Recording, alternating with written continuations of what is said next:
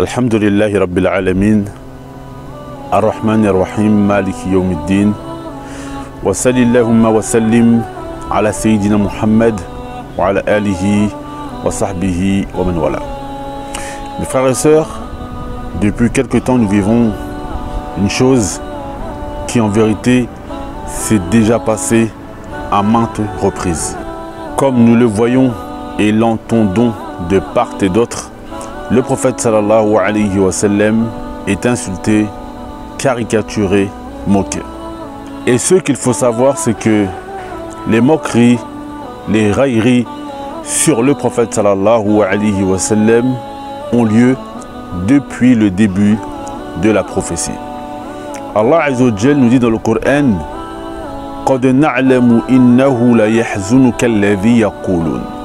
Allah nous dit dans une traduction rapprochée nous savons certes que ceux qu'ils disent de toi t'attristent. Car à l'époque, les gens disaient déjà du prophète sallallahu alayhi wa sallam qu'il est fou, que c'est un menteur, que c'est un sorcier, etc. Donc aujourd'hui, mes frères et sœurs, nous allons parler de la fin de vie de ces personnes qui ont calomnié, insulté le prophète sallallahu alayhi wa sallam. Et ceux qui combattent de leur vivant le messager d'Allah sont de plusieurs catégories. Au début de la révélation, il y avait deux hommes qui combattaient énormément le prophète sallallahu alayhi wa sallam. Et c'est ainsi que le prophète sallallahu alayhi wa sallam a invoqué Allah afin qu'il guide ces deux hommes.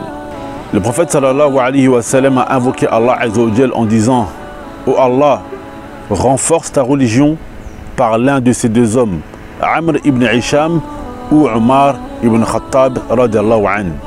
Et c'est ainsi qu'Allah a guidé l'un des deux et a égaré le deuxième. Quant à Omar ibn Khattab, qui était un fervent combattant du prophète sallallahu alayhi wa sallam avant son islam, il s'est converti à l'islam et il est mort martyr anhu arda et il fut le deuxième calife de l'islam bien guidé. Quant à Amr ibn Hisham, qui est généralement connu sous le nom de Abi Jahl, Fir'aun Hadi al-Umma. Quant à lui, Allah tabaraka wa ta'ala l'a égaré jusqu'à ce qu'il fût tué dans une bataille. Regardez mes frères et sœurs comment Allah Azzawajal a fait envers ces deux hommes.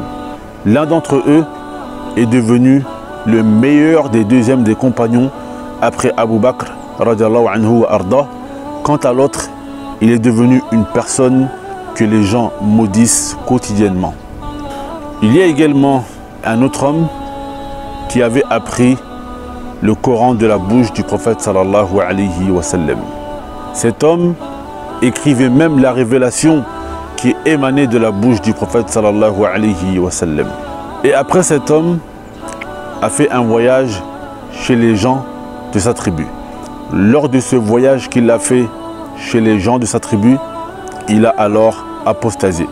Et c'est ainsi qu'il commençait à se moquer du prophète sallallahu alayhi wa sallam et à le prendre en raillerie en disant que le prophète sallallahu alayhi wa sallam ne connaît rien à part ce que cet homme lui apprend.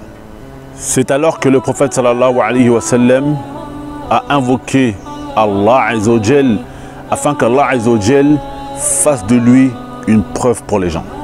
À la fin de sa vie, lorsque cet homme est mort, ses compagnons l'ont enterré. Lorsqu'ils l'ont enterré, la terre l'a rejeté à plusieurs reprises. Ils sont revenus et ils l'ont réenterré une autre fois et la terre l'a encore rejeté. Ses compagnons, voyant que la terre le rejette à plusieurs reprises, l'ont laissé étendu à même le sol. Et mes frères et sœurs, ce sont les chiens qui sont venus afin de terminer et de manger son corps. Et c'est pour cela qu'Allah Azzawajal dit plusieurs fois au messager d'Allah wa ne t'empresse pas de voir ce qu'il va leur arriver. Ainsi mes frères et sœurs, Allah tabaraka wa ta'ala s'est porté garant afin de venir en aide et de secourir son messager. Quant à nous, ce qui nous incombe, c'est d'invoquer Allah tabaraka wa ta'ala afin qu'il nous garde et nous laisse parmi les gens qui soient préservés.